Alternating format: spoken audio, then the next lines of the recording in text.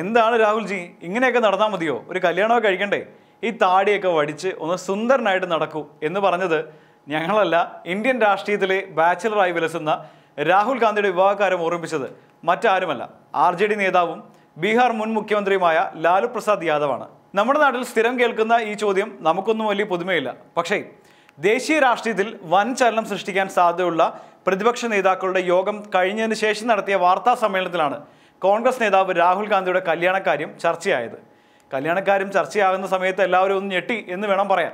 എന്തായാലും രാഹുൽ ഗാന്ധിയുടെ വിവാഹകാര്യം ലാലു പ്രസാദ് യാദവ് എടുത്തിട്ടതോടെ ചർച്ചയുടെ പിരിമുറുക്കം വിട്ടു. എല്ലാ നേതാക്കളും കൂട്ടച്ചിരിയിലേക്ക് എത്തി എന്ന് വേണം പറയാൻ. രാഹുൽ താങ്കൾ ഒരു വിവാഹം കഴിക്കണം. ഇനിയും സമയം വൈകിയിട്ടില്ല. വിവാഹത്തെക്കുറിച്ച് പറഞ്ഞാൽ താങ്കൾ കേൾക്കില്ലെന്ന് താങ്കളുടെ അമ്മ ഞങ്ങളോടൊക്കെ വിഷമം പറയുന്നു. നിങ്ങളുടെ വിവാഹ ഘോഷയാത്രയുടെ ഭാഗമാകാനായി ഞങ്ങളൊക്കെ കാത്തിരിക്കുകയാണ്.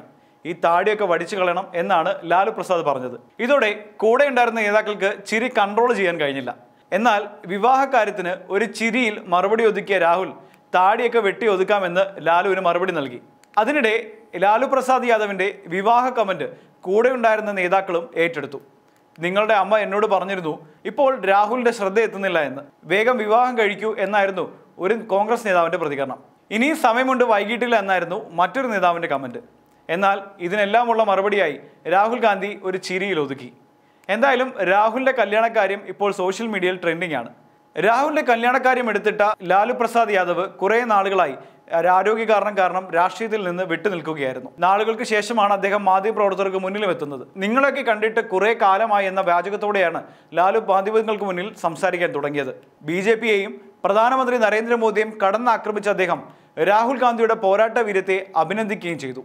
കന്യാകുമാരി മുതൽ കാശ്മീർ വരെ വിവിധ സംസ്ഥാനങ്ങളിൽ നിന്നുള്ള പ്രമുഖ പാർട്ടി നേതാക്കളുടെ പങ്കാളിത്തം ഉറപ്പാക്കിയ പട്ന സമ്മേളനം ലോക്സഭാ തെരഞ്ഞെടുപ്പ് മുൻനിർത്തിയുള്ള പ്രതിപക്ഷ ഐക്യത്തിലെ സുപ്രധാനമായ ഒരു ചുവടാണ്.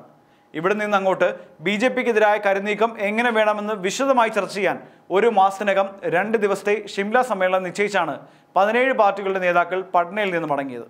ഏതായാലും ഈ ഒരു യോഗത്തിന്റെ അവസാനം എടുത്ത തീരുമാനങ്ങളിൽ പ്രധാനമായിട്ടുള്ളത് കേന്ദ്ര ഏജൻസികളെ വെച്ച് സംസ്ഥാനത്തെ ആക്രമിക്കുന്ന നിലപാടിനെതിരെ ഒറ്റക്കെട്ടായി പോരാടാനും സംസ്ഥാനങ്ങളിലെ നിലവിലെ പൊളിറ്റിക്കൽ സാഹചര്യങ്ങൾ മനസ്സിലാക്കിക്കൊണ്ട് തന്നെ ബി ജെ പിക്കെതിരെ എത്തരത്തിലുള്ള തന്ത്രം വിനയണം എന്നുള്ള കാര്യമൊക്കെ ഇനി വരാൻ പോകുന്ന മീറ്റിംഗിലായിരിക്കും ഉണ്ടാകുക എന്നുള്ളതാണ് സത്യം. എന്തായാലും വരാൻ പോകുന്ന ലോക്സഭാ തെരഞ്ഞെടുപ്പിനെ മുന്നിൽ കണ്ടുകൊണ്ട് തന്നെ കാര്യങ്ങൾ വിശദമായി പഠിച്ച് മുന്നോട്ട് പോകാനാണ് പ്രതിപക്ഷ പാർട്ടികളുടെ ഇപ്പോഴത്തെ യോഗത്തിൽ തീരുമാനമെടുത്തിരിക്കുന്നത്. അതേസമയം തന്നെ ആം ആദ്മി പാർട്ടി കോൺഗ്രസ് വിരുദ്ധ പ്രസ്താവനകൾ നടത്തുന്നത് ഈ ഐക്യത്തെ ചോദ്യം ചെയ്യുന്നതിന് തുല്യമാണ് എന്നുള്ളതാണ് കാര്യം. ഏതായാലും ബി ജെ പിയും ഈ ഒരു ഐക്യത്തെ സൂക്ഷ്മതയോടെയാണ് നിരീക്ഷിക്കുന്നത്. ലോക്സഭയിൽ കൂടുതൽ സീറ്റുകൾ ഉറപ്പിച്ചുകൊണ്ട് നരേന്ദ്രമോദി തന്നെ വീണ്ടും പ്രധാനമന്ത്രിയാക്കുമെന്നാണ് അമിത്ഷാ പറയുന്നത്. വരാൻ പോകുന്ന ഇലക്ഷനെ ഏത് വില കൊടുത്തും നേരിടാനുള്ള ഒരുക്കത്തിലാണ് ബി ജെ പി. അതുകൊണ്ട് തന്നെ രാഷ്ട്രീയപരമായ പല മാറ്റങ്ങൾക്കും ഇന്ത്യ ഇനി സാക്ഷ്യം വഹിക്കാൻ പോകുന്നു എന്ന് വേണമെങ്കിൽ പറയാം.